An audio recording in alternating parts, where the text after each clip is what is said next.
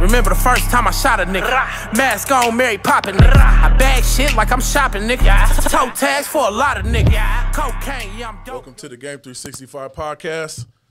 I got Oakland's very own D-Lo, man. What's happening with you, bro? So my boy, man. Yeah, one love, man. I appreciate you coming You out, know Brody. good, man. You know Real street happening. nigga, man. For surely. Yeah, yeah, yeah. Sure. Hey, so you know, I mean, I know where you from. Everybody know where you from in the music world, but the world want to know where you from, bro. Um, for the world to know, man, I'm from East Oakland, California. Yeah. Uh, you know, one of the, the mecca of the Bay. Uh, and I'm one of them ones from there. So, uh, yeah. Yeah, yeah, yeah, yeah, yeah. I see y'all hit up y'all shit like us too. Oh, yeah, you know, we thought yeah, I'd do something the same way, man. guaranteed, guaranteed, man. So you know, what what was it like growing up in Oakland? Typical. I mean, typical. Just you know, same hood shit, same. I, I didn't struggle too bad. I Yeah, went through yeah. struggles for sure, but I wasn't a nigga who was homeless or none of that Yeah. type of shit. But it was the same shit. I grew up in Oakland. I grew up in Richmond. Like I grew up in nigga poverty shit. I I didn't have it good. You feel me? But Yeah, you think you think you growing up like that, you know what I'm saying, influenced you to, you know, start hustling, get into the music and, you know, start putting your passion and your pain into, you know what I'm saying, what you was rapping about and shit? for sure, you you, you forced to do that shit when you when you come up like that. You ain't Yeah. even got a choice. You either gonna sink or swim. So. Facts. Yeah, I was swimming. Yeah, guaranteed.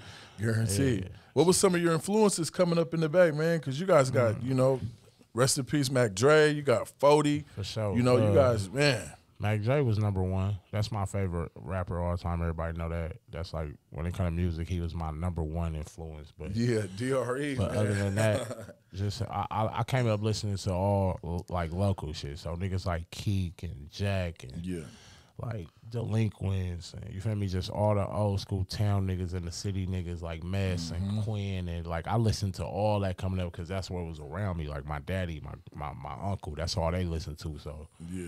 Feel me it Three times crazy, man. I used to, surely. you know, keep Oh, it. God. That was that Like, shit. yeah, you know that's, what I'm that's, saying? that's that's my era. That's Yeah. the type of shit. I still ride and listen to old shit like That's that. That's that shit right there, man. You know, has any of them like linked with you? You know, what I'm saying when, uh, in your in your beginning of your career, was it like was it love reaching out? Was it Oh, no problem? sure. Motherfuckers was fucking with you, rocking with you and shit. Nah, for surely it was it was definitely genuine and, and everybody reached out. I I don't think I had a problem with nobody as far as that came before me in the Bay, like all the OGs and shit. Like everybody embraced me. You feel me? It was like I was the next young nigga up. You feel me? It wasn't nobody else other than me and Stalin then. So it was like you feel me? You know, Stalin had the the trap drug dealer music. Yeah, yeah, I had yeah. the party trap shit. So it was it was just it was inevitable to happen. Shit. Was that was that was the was that the were, were the hyphy like just the beginning of that, or was that a lot of of people it's crazy because a lot of people like add me into the hyphy movement when really I started rapping when that shit was like over with. You know what I Oh, mean? okay. But but I still had that energy Yeah. because I come from the hyphy movement. You Yeah, know what I'm yeah. saying? So yeah, I still had that energy, and really it was NoHo. Like NoHo, NoHo was really the song that had that energy. Like if you listen to any of my other shit surrounding NoHo, like my first album, The Tonight Show, me and DJ Fresh did like 17 songs on that. NoHo is the only song on that whole album that sounds like that. Yeah, yeah, Nothing else was turned up like that. Look at my next hit. You Play Me is not a turned up song. yeah. Feel what I'm saying? It was like it, it was it was just perfect timing, I guess. How you transition in music though, bro? It depends on what mood you in. You know what I'm saying? If you tipsy, if you blowed, I mean, how you put everything together? Because you got you got classics, bro. I mean, I didn't had different different moments in my life. So, like with NoHo and all that shit, I was playing around. Uh, the the you played me, get her though era and shit like that. Like I wasn't taking rap serious. I was just in and out of that shit, and it was like when I seen an opportunity, I would take it and bullshit like that. But like now. I ain't gonna lie, like it's it's a whole lot different. Like I take rap way more serious now than I ever did, and it got a lot to do with Adderall. But I ain't gonna speak on that. But um, you know what I'm saying? Yeah, shout out Debo. But uh, yeah, man. Uh, Yeah, right yeah. now I'm I'm more serious with my with my with my craft and my career than I ever been. I never took it this serious, and it's like I feel like this my my my last run. Yeah, because I really don't want to rap after 40, and I feel like like my album that's dropping right now is called Now or Never because that's how I'm really feeling. It's like nigga, it's now or never. That's what's up. I mean, if it don't crack now, then Yeah. AOB or something. You know what I'm saying? Do your thing. Yeah, I'm talking I thought you was gonna say, you know, because uh, we ain't gonna get too deep into it, but you had to go do a little bit of time and shit. I thought you was gonna be like, you know, just writing raps and and, and sitting in the cell, you know, doing your thing. yeah, I that do that was no writing in jail. it's too active. I just yeah, even that. I just never was to jail. I've been going to jail since juvenile hall. I've been jail seventeen times. It's just I never was the jail rapper. Yeah, yeah, Like yeah. I can't. My mind don't be there. It ain't that I'm just like, oh nigga, I don't want to rap in jail. and Do do do. I'm D-Lo. No, my mind don't be there. I could write a rap in jail. Yeah, yeah. It's just not gonna be him. Yeah, yeah. You feel me? It's not like it's niggas in there rapping better than me. I'm not finna write a rap rapping and this niggas in here going crazy. You know how jail get. Them niggas is talented. Everybody named mama beating on the wall in the hole, beating on the door. Fucking beating hell. Them niggas too raw in there. I ain't finna play with them people like that. Yeah. Was that was that just you know having to go sit down for a little bit though? Was that something that you know got your mind right? Just like nigga, I'm about to touch down. No, I'm about to focus. That was that was number one. Hmm. That I can't even sit here and lie and be like, oh my kids. I've been in jail hella times. Like nigga, that was number one. I was like, I mean, I'm 34, bro. Like I'm this shit over with now. Like Hmm. nigga, niggas is still going to jail now. I'm a nerd. I'm a nerd before that, but like now, like come on, bro. yeah, That yeah. shit over with. You feel me? Like I got grown kids, nigga. Like it matter now. Yeah, real it been talk. matter, but now, Now I'm grown, grown, grown. Like fuck all that jail shit. That shit for losers, Now or never. for sure. So, what is the culture like in Oakland with the hip hop? Like on the underground, we know niggas that blew up, you know, niggas that's doing their thing. But what is the true Oakland culture that motherfuckers around the world don't know about, though, bro? right now the Oakland culture is kind of like it used to be. Well, when I say that, I mean as far as the grind go, like because Mm-hmm. Everybody, it's so many rappers now. and Everybody independent. Everybody got to figure it out, figure it out. Yeah, real You gotta find your way. you gotta find yep, out how to how to do this shit. Some niggas know how, some niggas don't. Yeah, real some talk. niggas got the music to get them there, but don't know how to get their music there. Some niggas Mm-hmm. know how to get the music there, but don't got the music to get there. Yeah, yeah, yeah, real I'm saying? But some you just gotta figure that shit out, and it's a way. It's just Damn, that's crazy. niggas too. doing it. What do you think? Is there is it, is it any like politics and shit that's keeping motherfuckers sure. from coming together and bubbling up and you know what I'm saying, taking shit by storm? For sure, and, and that shit happening everywhere. Like Mm-hmm. Real that, that shit, like that ain't. I don't even think that's a conversation to have because it's so dumb to me. Like Yeah. I still make money. I still can get booked for shows. I still can do hella shit these niggas can't do. Real talk. These niggas can't get booked for shows. Who gonna book you? It might it might get shut down. Niggas is Ain't no acting too- mic. they don't even want to see if if it's Yeah, they don't even wanna fuck They don't with want- it. No, niggas ain't getting booked for shows, bro. If, if a nigga getting booked for shows right now, it's because he's actually him. Yeah. It's undeniable. When it's a nigga who popping in the city and but you with the bullshit, they don't give a fuck about that little money. They'll pass on that. They gonna book somebody square. You know what I mean? I'm blessed to be able to still get booked, nigga. Yeah, yeah, that's a good thing though. What do you think that, you know what I'm saying? You think just your talent, the way you carry yourself and just, you know, how you move with, you know what I'm saying, your, your niggas and shit, you know? I mean, I, I think it's me, but I think it's it's the music, for real. It's like that's what carried me so long, for real. So I can't even sit here and say it's just they so in love with D-Lo, the rapper, to where Yeah, they just coming. No, it's like nigga, that keep the music is what's gonna keep you relevant. Yeah. If you ain't making no new hot shit, nigga, ain't. And it's crazy because I cannot make no hot shit, and I'ma still get booked off no ho. You played me and get her though. you feel me? But Regardless. but I'm past that. Yeah, yeah. I mean, yeah. like, I'm past Nigga done that. evolved from that. Yeah, it's like What is the connection? You ever uh realize the connection from the Bay to uh Seattle? Because yeah. nigga, we've been I've fucking, been fucking with y'all. Seattle for since 2000, like nine, 2010. It's been a connection before me. Like I've been knowing about the Mac Dre, all that. Like Yeah. it's been a, them kind of niggas are the niggas that bridged Seattle and the Bay. Mm-hmm. Was niggas like Mac Dre and Jacka. uh, Jack and, and, uh, what's bro from the city, uh, Andre Nickatina, Mm-hmm. just all them kind of niggas like they they bridge that. You feel me? So yeah. Yeah, Juice, Juice. sure. Yeah, he did. I think he did six or seven out here in the Yeah, pen. Juice had a brother. Juice got a brother from out here. Like, Oh, okay. I used to really be out here. Yeah, like, that's what's up. Like That's I know hella up. motherfuckers out here. Yeah, that's a good thing. No, I blew on my mama. That's my nigga. I ain't got money with blue out here. Yeah, that's what's happening. That's what's happening. Don't you got a brother that rap, bro? yeah, sleepy. Yeah, that nigga. I was listening My to one of your brother. cuts. Yeah, see, that's what I'm saying. So you Yeah, got it's, it's shit's in the family. Oh yeah, yeah, yeah. Yeah. You know, we well, we the first out the family to you feel me, you know. Yeah, that's what's happening, man. What, what what's going on with like you know, do you, do you plan on getting signed to a label, or are you gonna push your own shit, or what you looking at? How you feeling about it? Uh, I don't plan on signing nobody unless it makes sense. But I am signed right now. I've been signed to Empire since 2012 or something like that. I Oh, was, okay. I was Empire first artist actually, so it's like a lifetime. Yeah, yeah, yeah. Type shit. Me and Ghazi got like a different kind of relationship. That's what's happening. That's what's happening. You know what I'm saying? Nigga didn't So, turn his yeah. back on you when but, you got booked. But if they come talking that, you feel me, that shit, it gotta make sense. Yeah, yeah, I, for I'm sure. about a dollar. I don't give a fuck nobody say. I don't do this shit for the love like everybody else. I do. it. I done loved it alone. No, yeah, this yeah. shit is, I need the money. fuck love. Who your top five about the Bay? Right now or period. Period. History, classic, My top five. top five. It don't even matter if you you know. Mm, I'm gonna say Dre, Mess, um, Dre, Mess, Keak, Dre, Mess, Keak. Uh, damn, that's hard. There's a lot of motherfuckers coming up out that Bay. Dre, Mess, Keak. I'm gonna say, I'm gonna have to say, uh, Stalin, Stalin. um,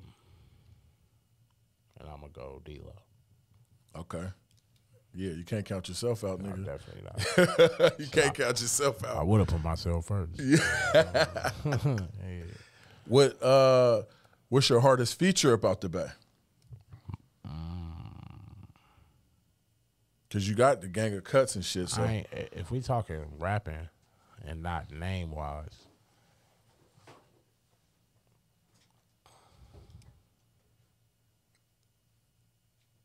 damn. nigga, like I got some cuts with some niggas off. Right now, I'm gonna say Junior. I got a song with Young Junior right now that he fucking terrorized like crazy. yeah, yeah. Oh God, like that nigga raw. That's what's happening. Fuck with Junior. Is it is it a different experience with the bitches when you do music and shit? Like, you know, from just, you know, hitting cities and states and shit performing? Is it like a different you know what I'm saying, being a street nigga and not and already dealing with women and shit, and then you know when you get into music, it's like, bitch, I already know how you coming. You see what I'm saying? I mean, yeah, yeah, that shit. I mean, niggas know what we expected. You feel me? I come from that ism, so Yeah, yeah, it's like, bitch, you better know what you dealing with. Yeah. Off top, When you come, don't come try to slide through here and not know what you slide through here to come fuck around with. You know what I'm talking about? Yeah, yeah, for real. but these bitches know, son. These bitches come in all different shapes and sizes and colors, and you feel me? Niggas like me know how to uh, see through all that. Yeah, guarantee. Yeah. Guarantee. Guarantee. Have you ever thought that, you know, like, damn, bro, I'm about to, you know what I'm saying, put this music on the back burner, man, and just, you know what I'm saying, go ahead and get some little niggas and, you know, and and, and, and do management and just, you know what I'm saying, push that level from the bay to I, I mean, I got a few artists I deal with. I got an actual artist that signed to me, uh, named Nims. He signed to Empire now too. But uh, I want to actually do do that, but I can't do that while I'm still trying to do what I want to do with Yeah. my shit. You feel me? I can, but it's only so much I can do. But when I'm done rapping, though, that's definitely what I want to do. Yeah, for I'm sure. for surely gonna be somebody's manager and like all that. Like for sure, I, I want to give somebody the game that I learned and the shit that I learned that I can't use because it's a little too late. You get, Yeah, if you get, yeah, you, for if sure. that, I mean, it ain't never too late, but it, you get what I'm saying when I say yeah. that. Like in this generation of music and all that yeah, shit exactly, going on. Like yeah. it's a lot of newer shit going on, but I, I get it though now. You feel me? Yeah. So it's like, of course, I'm gonna use it and apply it to my own shit, but I know how to blow somebody up Mm. for sure. I know how to. I know. I'm. I'm What songs, with beats, distribution, marketing. all that. You know what I'm saying? I'm, I'm actually producing shit like like it be niggas now like niggas you know how you know how niggas do verse licks and shit. Mm-hmm. You know like like let's say I'm out here in Seattle. Let's say I'm like oh D-Lo doing verses. Da, da, da. Nigga, it's times, nigga. I don't even do verses for niggas. Nigga, like, bro, what's up, bro? I want to get a verse, bro. How much you want? I'm like, uh, I want like three thousand. Yeah. Like, all right, bro. Uh. I'm like, or nigga, I got a song already ready right now. Hook, verse, beat. Give me five thousand. I'm gonna get a producer what he want, and I'm I might make more than I would have made off just the verse. You Yeah, feel what I'm saying? talk. And the nigga already got a whole song together. He's like, you already got, and all they gotta do is jump on it. Ready made. Yeah, and then they they hear the song, they like, damn, D-Lo on the hook and the verse and like and the beat. That's already nigga. I helped them do their job. Real talk. Push this shit next level. Yeah, you already just- do your me? thing. Just give me what I want. Like I, I got hella songs, bro. Right now, I swear to God, and I'll just be certain niggas be asking for a verse, and I might not want to do a verse for you. I got a song for you though, or I got a, I got I got shit with just a verse on it that, That I would have did for niggas. Like on my mama, I got shit Beating like everything hooked to it. Yeah, just you gotta know how to make your money. Yeah, real talk. Real me? talk. Hell yeah. I always ask this, bro. This is the Game 365 podcast. What's your definition of game? My definition of game: Yeah, G A M E. knowledge, Mm-hmm. uh, uh, strategically thinking, um, just like a hundred percent realness. Like Yeah. game is a lot of shit though. You could give me game and your game ain't his game. You get what I'm Yeah, saying? your guarantee. game might not be game to somebody else. Yeah, for sure. But who's to say that? You could have gave me game on how to fucking play basketball. He gave me game on how to sell dope. It's universal. People look at game differently. Game Yeah. is game. You feel me? And that's just whatever somebody teach you that's positive that you can really put into life and, and, make some shit come up out of it. Real talk. That's how I look at game. Mm-hmm. Not just a motherfucker telling you some shit and put you up on something. You're like, oh shit, yeah, thanks for telling me that. Nah, nigga, t- put me up on some game with something that can better my life. Yeah, for sure. For sure. Like that's game. You feel me? That's like nigga, a nigga be able to tell a nigga like, man, this nigga, done, nigga, this nigga told me and showed me this, this, and that. Nigga, look at me now, nigga, off of what he showed. You feel me? Yeah. Like that's game. Real talk. Real talk. Have you ever thought about, you know, since you did time and shit, you know, offering something for when niggas transition to the streets, just something, opportunity, platform, organization, you know, something to help motherfuckers transitioning, bro. Cause you know, a lot of niggas ain't got that opportunity. Yeah, like years ago when I got out the pen the first time, like I was on that. Like I wanted to like have a transition house for like uh like juvenile delinquents. Like Mm-hmm. you know how you know how when you in juvenile hall and they send you to placement homes and shit Yeah, like group that. home. We call it group home Yeah, here, same shit. Group Yeah, homes, yeah. but you got group homes, then you got placements. Mm-hmm. It's it's kind of a little different out there. Like a placement, they send your ass hella far away, Oh. somewhere like you can't go to your parents. You can't go to a group okay. home. You gotta go to this placement where it's hella other niggas like you at. It's kind of like jail still. Oh, okay. But I wanted to have a placement like that and actually take the young black men Yeah, to guaranteed. Mm-hmm. like and really show them something different for real from somebody that's really like them. You Yeah. know what I'm saying? But it was just hella loopholes of trying to do that to where it would have took me hella time and, and, and out of my daily life. Yeah, facts. To, to accomplish that. Like Yeah. Mm-hmm. that's something I would really have to do when I'm not rapping for real because I would have to go to school and then I'm a felon. So it's certain shit they don't let you do when it come to that field. Oh, what I'm saying? yeah, yeah. So I would have to be Legally a and third shit. party and all this type of shit. But yeah, I definitely thought about and was like on it, like really was trying to do it, and then hit a, a bump and gave up on it. Yeah, but you know, just giving back to the game a thought, you know what I'm saying? An artist retreat. You know, you got hella niggas in jail rapping. I'm sure. gonna put you niggas in a situation where niggas, you niggas know how to do it the right way. Yeah. How to start a record label class or your program or something, you know what I'm saying? Because, like you said, all the youngsters is rapping, doing their thing. You know what I'm And that's the saying? thing. Everybody want to be the rapper.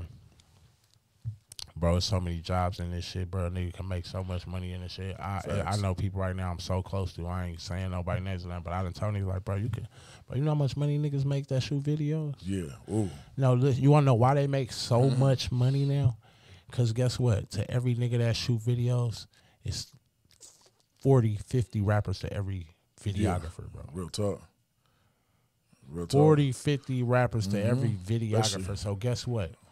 Nigga, ain't no such thing as, man, this nigga shoot videos way better than me. Nigga, y'all can't make no, nigga, p- impossible. Yeah. I see niggas who just started rapping yesterday with videos, nigga. hella videos, nigga. They guess what? They had to. Pay, I don't care if you paid that nigga two hundred dollars for that video. Guess what? That nigga made two hundred dollars shooting that weak ass video for you though. But guess what? He gonna keep eating. Yeah, he he gonna gonna get better, and he gonna get better, and he gonna get better, and that's how it started. Facts. Nigga, I was weak as fuck when I was rapping. I hate all my first shit. Terrible. the shit in the archives at old school. None of that. but guess what? A nigga can't fuck with me right now. Yeah, yeah. I was weak to me for hella years. Fuck when I first started. I just was like, it, I wasn't my my passion wasn't in it. My I wasn't in it. I wasn't in it. I didn't love it. Nothing. I was like for the money for real. Like, Yeah, off top. literally, and that's what fucked me up. And now can't shit stop me. They can't fuck with me when it comes to that. You hear me? That booth. Yeah, real talk. And all right. Oh, you be freestyling? I go yeah. Punching in and shit? Shout out Debo. I'll tell you, that Addy will do something to you, boy. Uh, why they why why they call you uh Rude Boy? What is it two alter egos type shit? Nah, it ain't. It ain't even a alter ego. is Rude Boy is like me and Sleep shit. Like it's our label. It's us. Mm-hmm. Rude Boy was like a, it's like a family. You feel what I'm saying? it's like yeah. a, it's a, it's not a gang. It- it's us. Like it started with me, sleeping, my brother Hungry. So we just started calling each other Rude. We all had dreads, and like me and Sleep was like hella infatuated with like Jamaicans and Yeah, yeah, and yeah. fucking the movie Shottas. That's what really had us on, Yeah, on yeah. bullshit was that movie Shottas. We You niggas like oxtails? what? I love them. That's my number one dish. Nigga, I cook that shit all the time. Hell yeah, love oxtails. Every Yeah. way you can make them. Yeah, Except guaranteed. for nigga that nasty. I it'd be That curry- everybody what- what can't. everybody can't cook oxtails. Nah, nah, hell no. Everybody Sorry, can I cook. hate oxtails with hella fat on them and all that gooey ass shit. No, I need nothing but you feel me. Yeah, guarantee. Guarantee, man. Yeah, I ain't gonna hold you, man. I appreciate you coming through. Oh, you know what I'm saying? good, It's man. You love, know bro. Yeah, It's good, one man, love. for sure. You already know. You know it.